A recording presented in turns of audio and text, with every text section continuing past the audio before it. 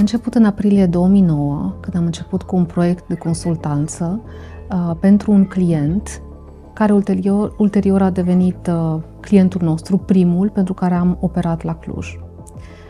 Uh, am uh, dezvoltat o echipă de la două, trei persoane, așa am început la momentul respectiv, uh, până la 270. Atâția angajați avem în momentul actual.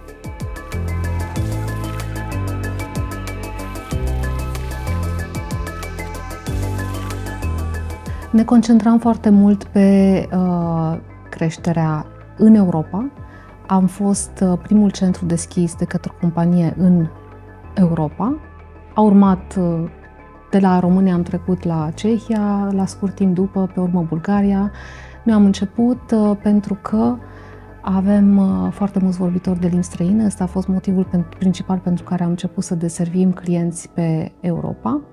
Uh, și de-a lungul timpului ne-am dezvoltat uh, portofoliul uh, de la acoperind domenii diferite, de la asigurări, am trecut prin servicii financiare, turism, ulterior iarăși servicii financiare.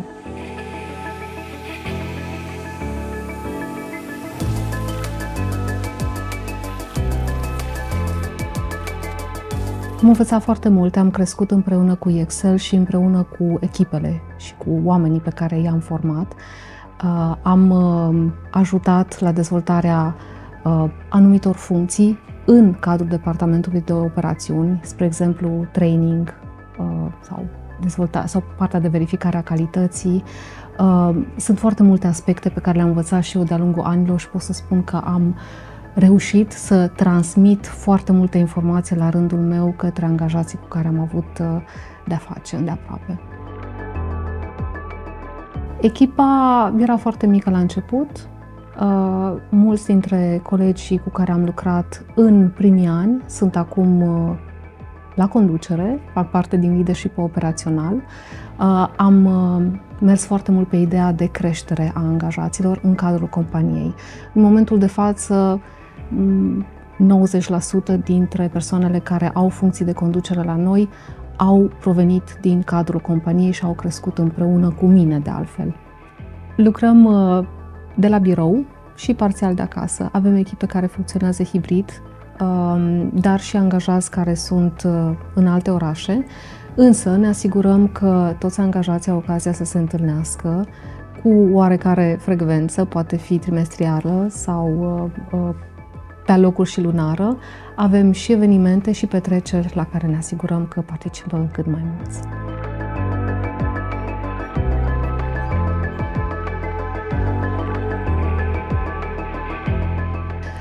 În funcție de clientul pentru care angajăm, avem de-a face cu persoane care nu au nevoie de niciun fel de experiență în prealabil, în afara faptului că avem nevoie de vorbitori de limbi străine, franceză, germană, puțină italiană și spaniolă. În zona de turism, de afaceri, totul se învață la locul de muncă. Pentru celălalt client, unde avem uh, servicii financiare acoperite, este nevoie de experiență în prealabil. Acolo operăm pe limbile franceză, engleză, germană, spaniolă, italiană. Ce ne interesează cel mai mult, în afară de aceste hard skills, uh, implicarea e cea mai, cea mai importantă. Dacă avem implicare, putem lucra cu oricine.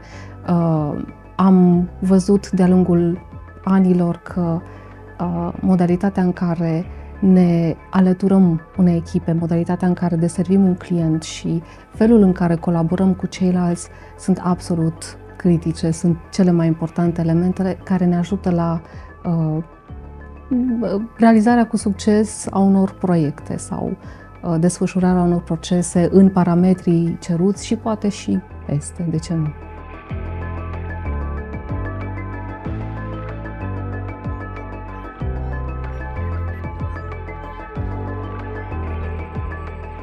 Noi fiind specializați uh, în zona de externalizare de servicii, putem acoperi foarte multe domenii. De-a lungul timpului am avut de-a face cu domeniul asigurărilor, cu servicii financiare, turism de afaceri. În momentul de față operăm în zona de turism de afaceri, E un domeniu extrem de interesant, unde putem să facem și certificări la locul de muncă. Um, sunt niște certificări internaționale de care angajații pot beneficia toată viața. Um, și mai avem partea de servicii financiare, unde uh, operăm pe diverse uh, piețe în, uh, în Europa, în principal. Uh, la fel, aici putem să vorbim despre traininguri care sunt extensive, care ajută angajații să-și facă, uh, să-și dezvolte competențele în zona de interes, și anume cea a serviciilor financiare pe care o deservesc.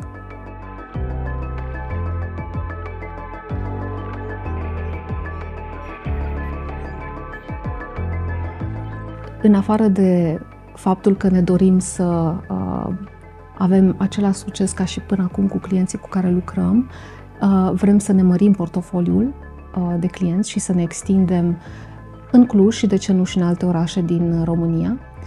Uh, probabil că vom uh, explora foarte îndeaproape și uh, oferirea de produse noi către clienții noștri, nu doar partea de servicii, ci și uh, automatizări Um, servicii de transformare digitală. Uh, în următoarele luni, ani, urmează să ne dezvoltăm și în zona respectivă pe Europa, pentru că lucrul ăsta se întâmplă deja în alte zone uh, ale lumii. Uh, Excel deja oferă astfel de produse clienților lor.